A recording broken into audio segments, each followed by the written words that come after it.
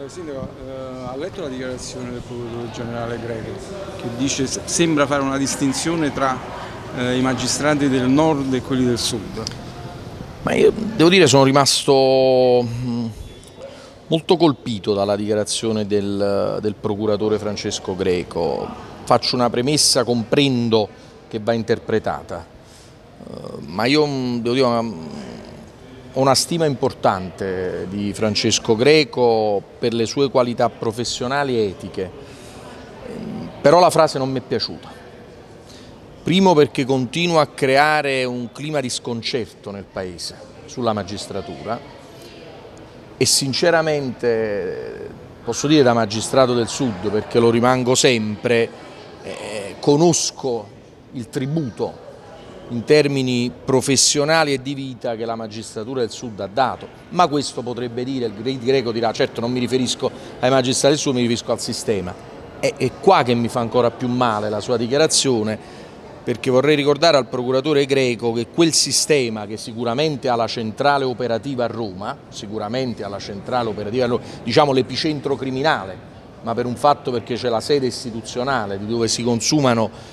quelle cloache istituzionali,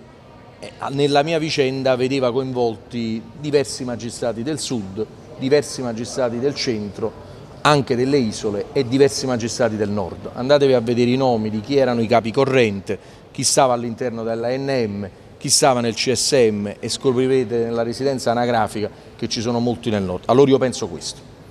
L'Italia oggi è molto divisa purtroppo, è un paese non coeso, ma è sicuramente unito dalle mafie e da un certo sistema criminale che vede nel modo di operare tipo la P2 un suo elemento centrale e fondante. Allora da persone del calibro e della statura di Francesco Greco, che capisco pure che cosa magari voleva intendere, però c'è bisogno di un'attenzione particolare e di un rispetto particolare del nostro